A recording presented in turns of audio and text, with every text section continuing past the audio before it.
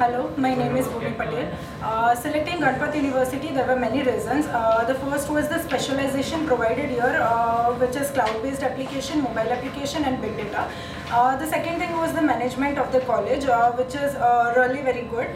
Uh, the discipline maintained over here, uh, the faculties are very supportive and uh, even uh, the there is a collaboration with IBM uh, which uh, helps a lot uh, for the students. Uh, the specialization helps a lot uh, in learning many things.